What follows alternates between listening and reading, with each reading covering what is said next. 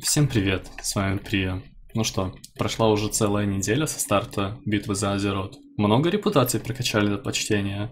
Есть даже люди, которые не верят, что их в принципе можно в текущий момент качнуть до почтения.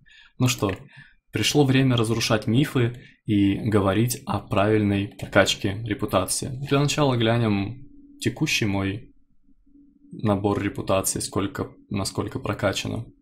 Итак, седьмой легион 9330 из 21 тысячи. Адмиралтейство Праудмуров 5455 из 21. Защитники Азерот 5789 из 12. Орден Возрождения Шторма почти 3000 из 21. Орден Пылающих Углей почти 2400 из 21. Тарландские Искатели 2800 из 12.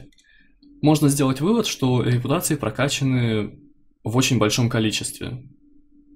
Пришло время раскрывать карты и э, рассказывать абсолютно все секреты, которые были мною использованы при прокачке такой, по мнению людей, большой репутации. Итак, во-первых, весьма неплохо завершить абсолютно все главы. А, мало того, что это даст вам доступ к осаде Боралуса за Альянс, если вы играете, если за Орду, то к Гробнице Королей. Также не забываем делать военную кампанию. Помимо того, что нам нужна репутация с седьмым легионом для того, чтобы попасть в Гробницу Королей, играя за Альянс, а в осаду Боралуса, играя за Орду, так э, еще и мы делаем военную кампанию за счет этого. В последующем военная кампания, полное ее прохождение, а также абсолютно все фракции в виде почтений нужны для первопроходца Battle for Azeroth часть 1.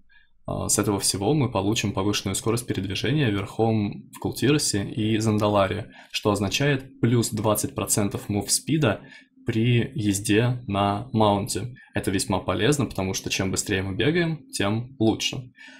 А, прокачка самых главных репутаций в текущий момент – это седьмой легион и защитники Азерот.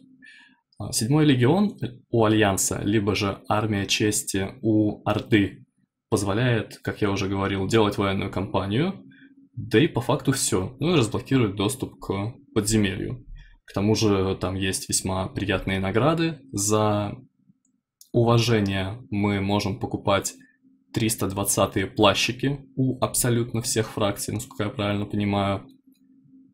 Также за почтение мы можем покупать 335-ю вещицу, а за превознесение 350-ю. Это очень полезно для тех, кому не особо повезет в луте и закупиться перед рейдовыми неделями будет весьма полезно. Но суть в том, что вещицы они продают не азеритовые, также ожерелья не продаются, также не продаются пушечки, не продаются, по-моему, кольца и не продаются тринкеты. Но у защитников Азерот покупается все-таки азеритовая вещица.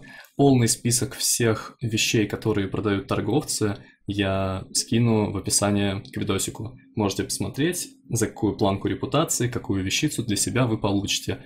Потому что, к примеру, а, играя на кожнике, на кожаном персонаже, за почтение со стороны Ордена Возрождения Шторма я получаю ножки 335-е. А вот, к примеру, какой-нибудь латник получит, ну, не знаю, запястье, может быть, ступни, может быть, пояс, может, перчатки, может быть... И, в принципе, на этом список окончен.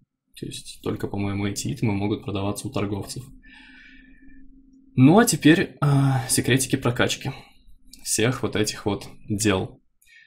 Во-первых, зачистка глав, как я уже ранее говорил. Во-вторых, зачистка всех локалок. Скачиваем себе аддон, а, World Quest List, нажимаем на настройки, выключаем задания Легиона, скрываем их просто-напросто, и наша задача зачищать абсолютно все. Если мы будем зачищать не все, мы будем проседать по репутации, нас обгонит наш враг. Если вы еще будете пропускать локалки, то пока ты спишь, твой враг качается, что в принципе тоже не очень-то хорошо. Поэтому локалочки нужно делать. Если даже можно сдать какие-то относительно дешевые ресурсы, то, конечно же, сдаем. И все это лучше делать, да не лучше, а в принципе обязательно, под бафом контракта с защитниками Азерот.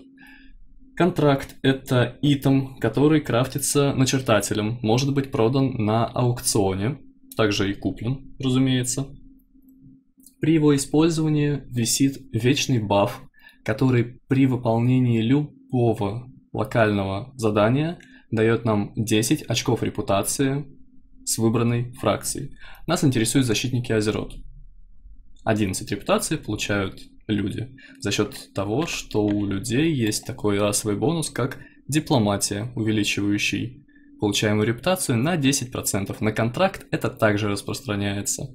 Делая локальные задания питомцев, мы также триггерим наш контракт, и он также дает нам дополнительную репутацию, что весьма полезно. Сетап питомцев мой крайне прост и, в принципе, абсолютно таким простым сетапом, даже не доходя до какого-либо третьего питомца, я сношу все живое, что только возможно в этом Кул-Тирасе и на острове Зандалар. Детеныш злобоклюва, детеныш кровогляда, детеныш острокогтя. Изредка я использую близкотрона 25 уровня, он является механизмом с весьма хорошими способностями. И есть одна локалочка в, насколько я правильно помню, Назмире, это ордынская территория, там нужно убить... Э, ну, как они правильно называются? Крог, по-моему, вот эти новые такие, как динозаврики, лысые такие. Вот, их... Там локалочка есть на такое вот существо. Это существо является боссом. А таким боссом, что при убийстве вашего питомца он бафает себе хосту, как боевой питомец, и восполняет full хп, поэтому нужно убить его за одного питомца. И близкотрончик с билдом 1-2-2 прекрасно с этим справляется. Далее про главы сказал, про питомцев сказал, про локалки сказал. Также не забываем делать обычные квестики. Даже за некоторые обычные квесты, которые разбросаны на различных локациях, вы также можете получить репутацию. То есть при начале какого-либо квестлайна, при взятии каких-либо квестиков, обязательно выполняем их и проверяем, дают ли нам репутацию. К примеру, многие люди пропустили квесты вот здесь, в Друстваре.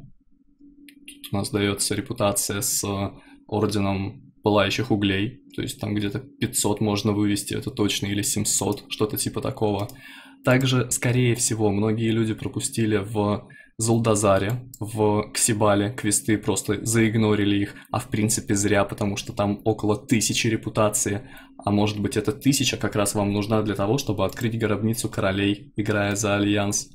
Гробница королей, Ордынское подземелье, семь с половиной тысяч из 12 набираем и идем гробницу королей, радуемся жизни. В принципе, я считаю так, что следуя этим советам, вы прекрасно качнете репутацию, и преуспеете в этом деле, потому что в текущий момент очень много вопросов появилось насчет этого, а ответы, как всегда, есть, просто хочется вынести их на большое количество людей, а не объяснять каждому отдельно. Ну что ж, всех вам благ, счастья, здоровья.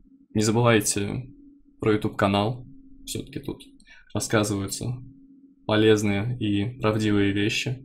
Также гляньте видосик по аддонам, там найдете пару полезностей для того, чтобы быстро делать локалочки. Ну и следите за стримами на Twitch платформе. Берегите ноги, до скорого, успехов вам!